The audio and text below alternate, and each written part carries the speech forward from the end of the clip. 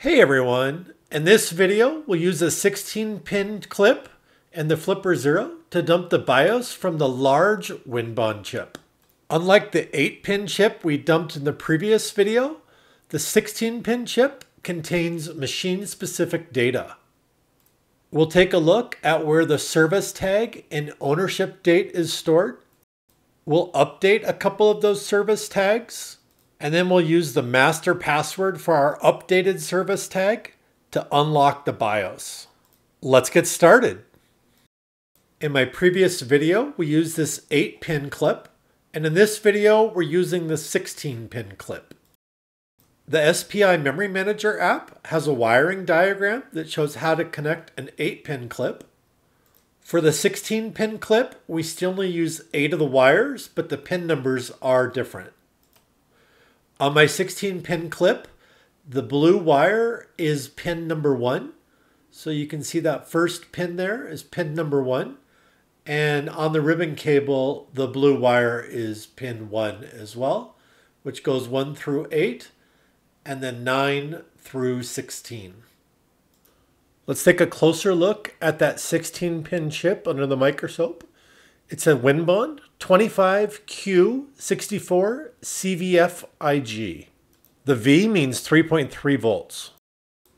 So on my Dell, I booted it up and you can see the service tag is 9VMH95J and the ownership is March 17, 2012. So this is a really old computer.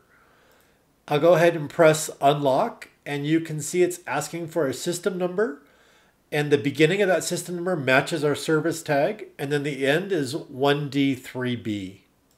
For this video, I set the password to admin12345. So go ahead and press that, and you can see we're now logged in.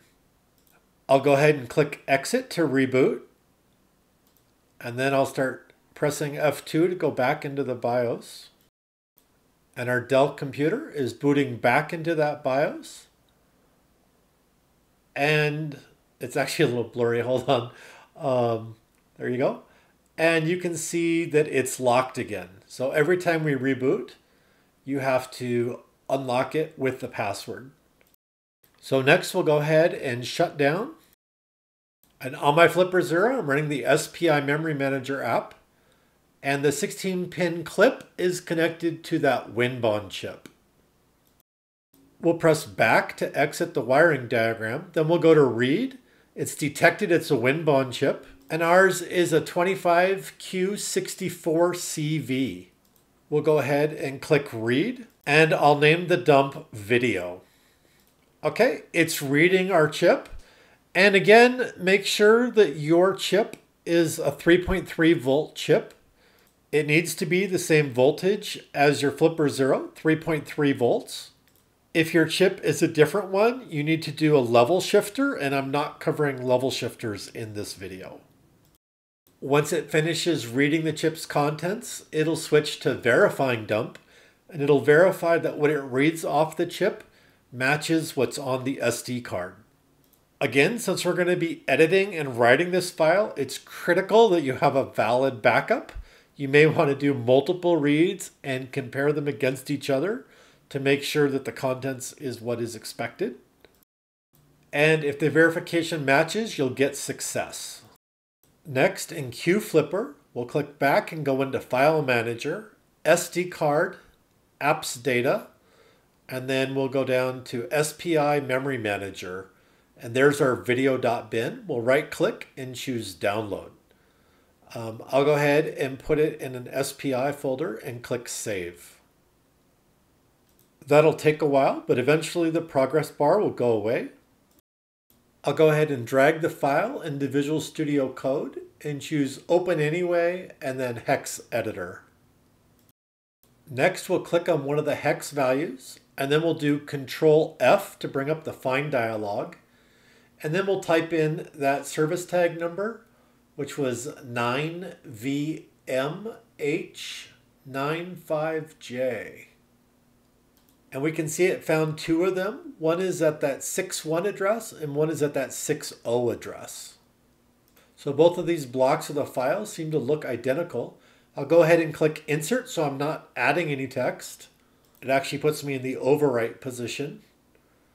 And then I can type in our new name of FL1PP3R. And then I'll go ahead and search for the other one. And I'll also edit that to be FL1PP3R. Again, if your product's under warranty, don't be editing your service tag. You're going to want to use that to be able to get service from Dell. Our manufacture date is 120303. I'll change it to 0305. And then I'll search for Flipper to find the other instance. There it is. And we'll change that one to a 5 as well.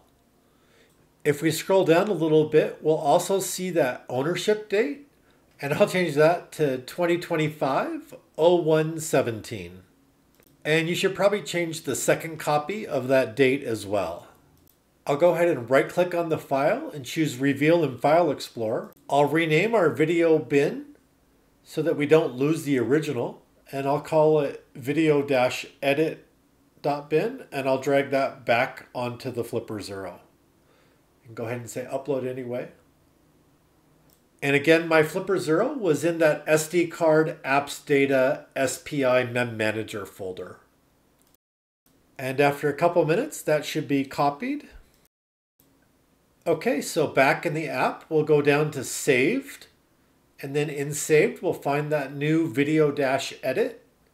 We'll choose write. It auto detected our chip.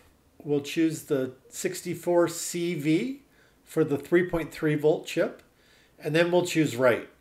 At this point, it is erasing our chip, so hopefully we have a good backup. And then once it's done erasing, it's writing the new data to the chip. This process takes a really long time. I'll let you just see kind of how long 3% is. And I'll cut forward to success. I don't know if it's a bad idea, but what I've been doing is disconnecting the 3.3 volt and then disconnecting this ribbon cable from the breadboard. I've been leaving the chip on there because getting a good read on that chip is really difficult to do. All right, I'll go ahead and plug the computer back in and press the power button. Keep pressing F2 and good news, there is our BIOS. We're in it and our service tag is FL1PP3R. And I've updated that ownership date so it's ready for a new owner. So this is pretty exciting. We're seeing how we can use the Flipper Zero to update SPI memories. And it turns out for this particular Dell computer, uh, the password is encrypted using that system number. So I'll go ahead and type in the password of admin12345 and then we'll say okay and incorrect password because it can't decrypt that password anymore uh, because we've changed our service tag. You'll notice our system number is our service tag dash 1D3B. And now this is something crazy I learned.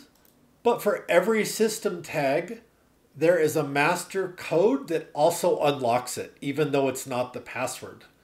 Um, so we'll go ahead and type in this really long master code.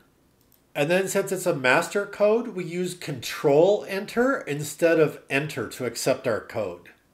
And there it is. We have unlocked it. It's no longer locked. I'll go ahead and click exit and reboot the system.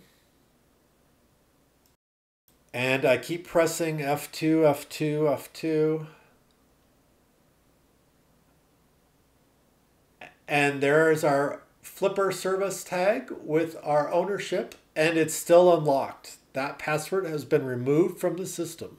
And so for this particular service tag, uh, that would be the code you would need and control enter instead of enter.